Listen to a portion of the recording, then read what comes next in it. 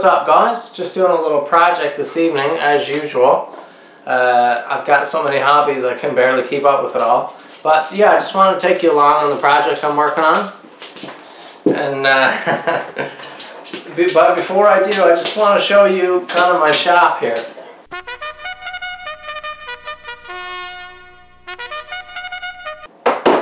This is it right here. This is my big workshop. Uh, for anyone that don't know, my wife and I are university students. We live in an apartment. Lucky enough, it was two bedrooms. So the second bedroom is basically for me and all my hobbies. So I actually got, uh, my landlord actually gave me this little table she was throwing out. Kind of works to keep bins in here with uh, my stuff. I had some more tools stored out in another little uh, sort of closet area in the house. But here's where I keep all my knickknacks, bins and stuff. Uh, you see I've been working on lately restoring a couple planes. Here, this one was a gift from Ray Bartlett. I just restored. Uh, I guess I can show you around.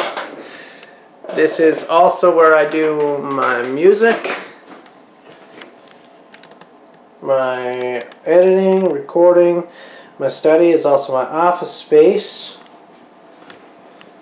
And that's it right there. Some of my axes hanging.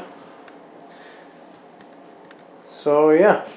So yeah, that's the workshop I'm working with. Not the best of conditions. Uh, someday I'm sure I'll have a big shop, maybe a nice big barn with a workshop in it. But uh, that's not the case for me right now. Uh, we all have different stages, right?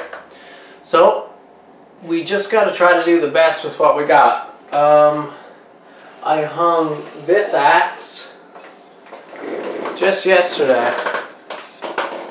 Found this head. It's a German head. An Iltis, an ox head. Restored it. Right here. Basic tools.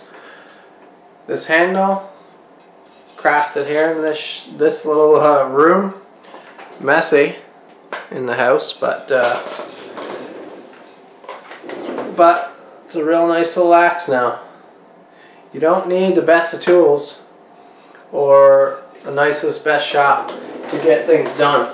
You just got to be innovative and uh, and smart with your money.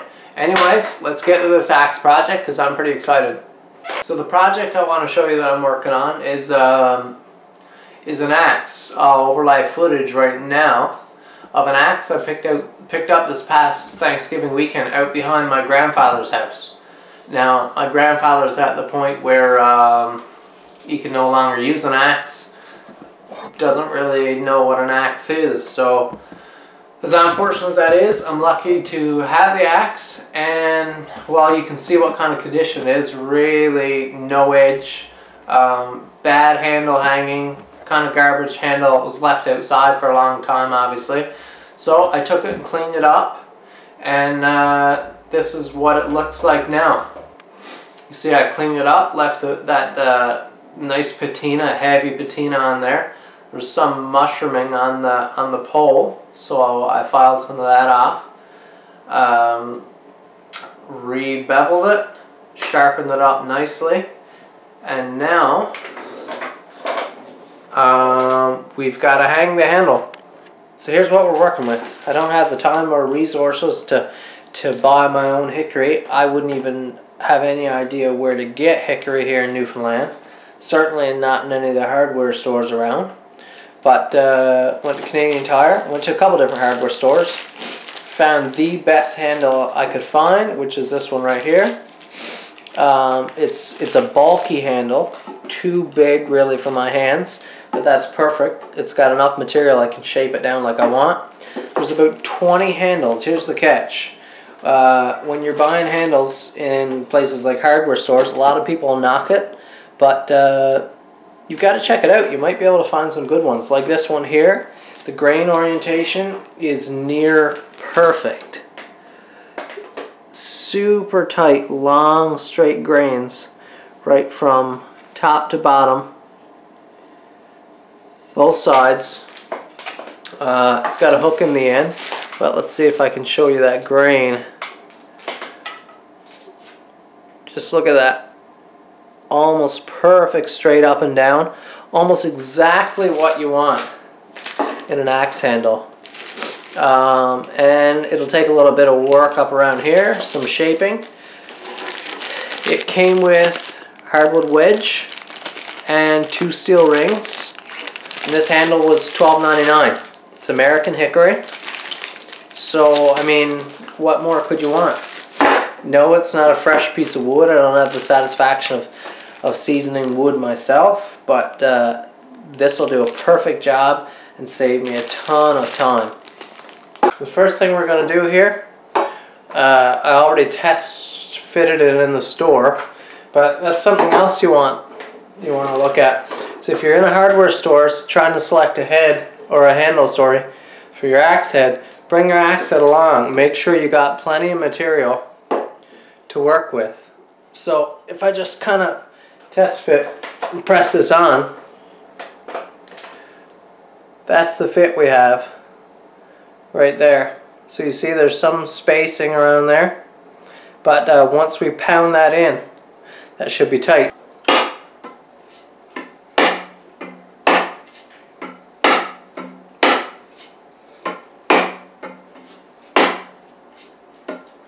So I can see every place that my axe uh, really bit into the handle. So I'm just going to take those parts down a little bit. Just got a little uh, four in one, four in hand file here that I actually have on loan from from Ray Bartlett. This is uh, this is for wood. So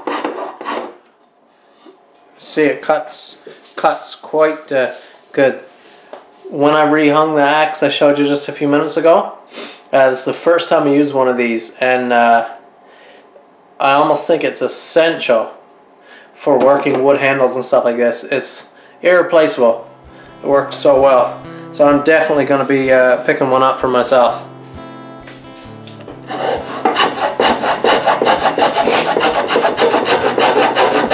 Let's give it another try.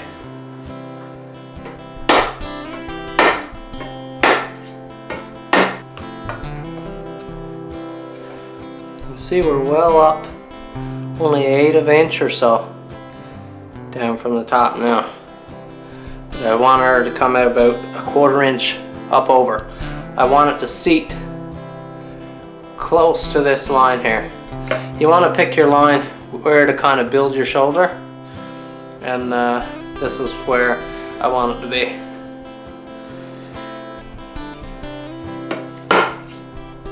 And uh, and where we have it there, stopped again now, starting to build up shavings along here.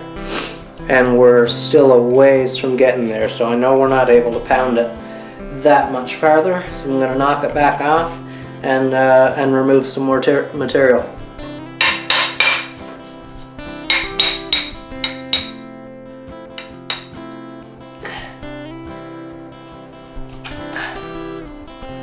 clearly see if you keep doing this, you can clearly see the, the high spots that need to come down. So you gotta work on those, it's as easy as that.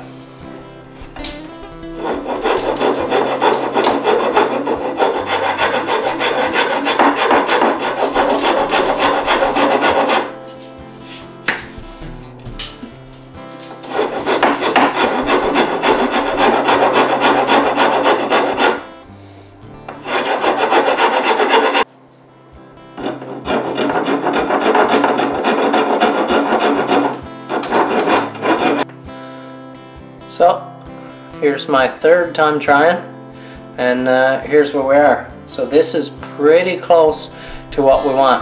I wouldn't mind it being uh, a little farther down over there but I'm not going to force it right now. What I'm going to do is uh, haul this head back off and uh, work on the handle. I wanted to make sure I had a, uh, a good handle that I could get a good fit here before I really put a lot of time into uh, milling this handle down like I want. So going to uh, do a little bit of work, then I'm going to pound it on and, uh, and wedge it. You see, it's not uh, We don't have all the material in the world here, but once once uh, you get a wooden wedge and a couple steel wedges in there, you got no worries. That's going to be real tight. This is a little spoke shave my uh, buddy Ray also gave me to use. It's just on loan. And uh, it's really taken away a lot of sanding work by being able to do this. You can do it uh, just with sandpaper, but I'm going to choose the quicker way this time. Working very nicely.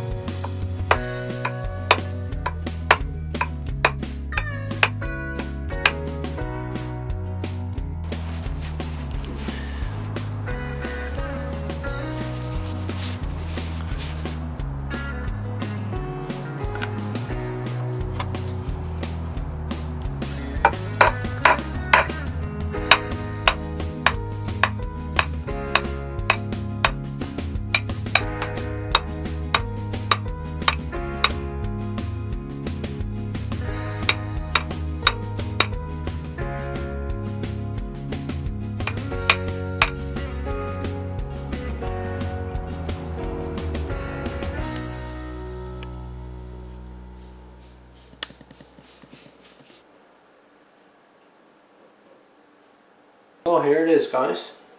I spent about, uh, honestly, maybe about an hour shaving down this handle. I really removed a lot of material with the spoke shave and the, and the rasp. Just thinned out, especially down here. Took a lot of that bulk out. Uh, the head, it's not the prettiest. But, or the hanging, sorry. Not my best job but it's tight, you can be sure of that. Um, the eye of this axe head was a bit longer this way than, um, than the handle had material. So, you can spot the little wedge there. Not that it would need it, because uh, super tight back here, packed really tight. And uh, those steel rings were really hard to get in.